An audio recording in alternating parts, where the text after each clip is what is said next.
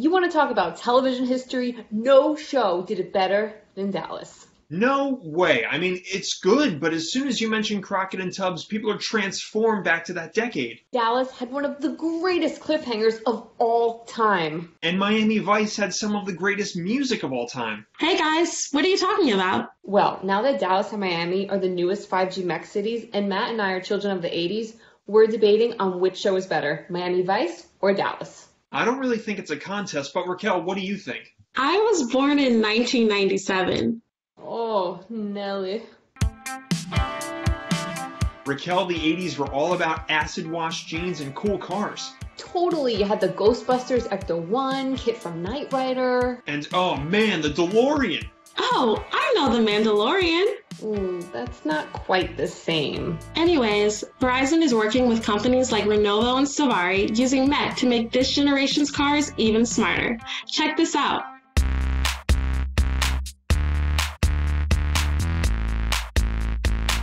We're here at M City where we've outfitted a vehicle with the Verizon 5G modem and Renovo's data management platform. Every automaker operates fleets of advanced test vehicles, and each test vehicle creates a vast amount of data. We're talking about cameras, LiDAR, and as many as 100 other sensors throughout the vehicle. Through an onboard compute, Renovo indexes and intelligently filters this unstructured data, making it easy for development teams to access the data that is most important to them in record time. The Renovo software comes into play not only on the vehicle itself, but also at our MEC application platform.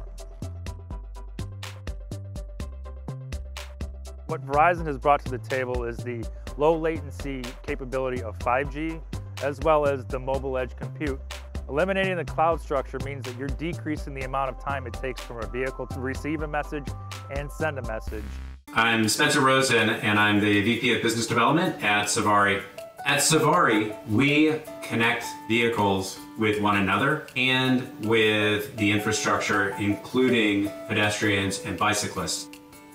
V to X stands for Vehicle to Everything Communications. So the way the vehicles act right now, they're, they're really all independent actors.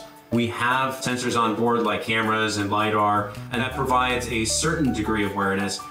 Where we're heading though is really fusing that data from the various sensors to enable 360 degree awareness for all vehicles. 5G gives the ecosystem here that hyper low latency that is critical for a huge number of use cases in V2X. And it also provides that reliability that is so critical, particularly when we're talking about safety use cases.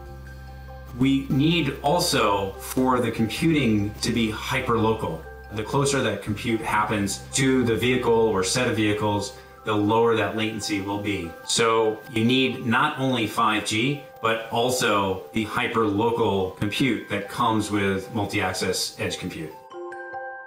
Wow, if only the time machine could do stuff like that. Anyway, back to business. Well, if we go back in time to yesterday afternoon, Verizon hosted a sell side analyst meeting where we discussed our overall strategy, network leadership, and business updates. And now from sell side to sell wise. Earlier this week, Cellwize, a global leader in mobile network automation and orchestration, announced Verizon Ventures' contribution to its Series B round. Verizon Ventures connects innovators with smart funding, access to technological expertise, product development support, and commercialization channels. And finally, did you know that 28% of data breach victims are small businesses? Verizon is introducing Business Internet Secure powered by Cisco and BlackBerry Smart Antivirus to help small businesses protect themselves against cybersecurity threats. Can you imagine if KITT had antivirus technology? Think of the possibilities if they rebooted that show.